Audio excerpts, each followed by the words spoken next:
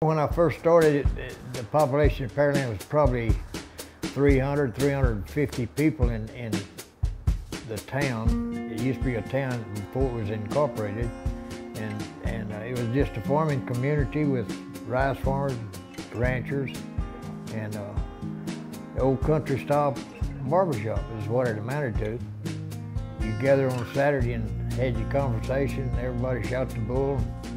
Seven o'clock at night, you close and go home. I like it because you get to meet all walks of life. You get to meet from the president to the garbage man. You know, you you meet every kind of every kind of person that there is.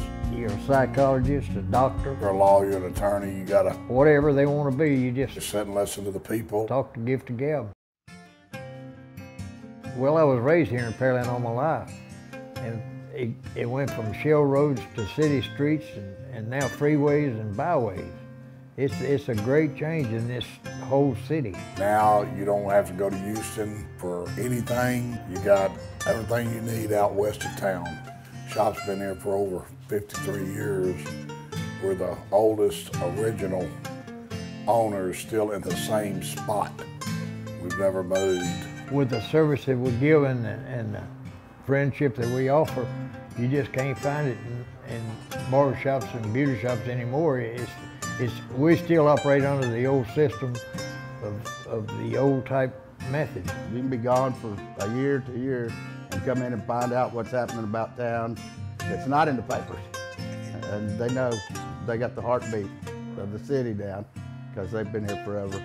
I became a barber in the service, and they, that's where I got my experience. My son turned out to be, he followed behind me, and he's never had another job. Graduated high school in May. I got my barber license in August. I've been here ever since, right at 40 years now. I got about 58. I've been coming here since the mid 1980s. About 50 years I've been coming here. Hey, I started in 55 cutting hair, and then I, I built a shop in 1960, and we've been in the same location at, from there to now. I was down here by myself. Since then, it's been built up all around. Well, I get a very good haircut here. and I don't have to spend a lot of time. Usually get in and out pretty quick, and Billy's one of the fastest barbers I know of. Other shops, it takes 45 minutes and we can cut it between three and five minutes and get a quality hair for it. We used to be known as the fastest clip joint in town. Yes, I'm satisfied. That's why I keep coming back.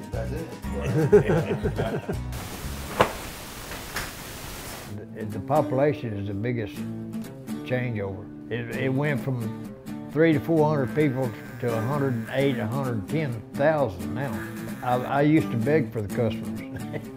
and now, oh, a lot of times you get a customer comes in, he don't need a haircut, he wants to just sit down and he'll stay with you for an hour, maybe two hours, and then then you have another one come in that wants a haircut and get out of here, you know. I like to say the shop's been right here on the railroad track for 53 years plus, and the good Lord's willing, we'll be here another 53.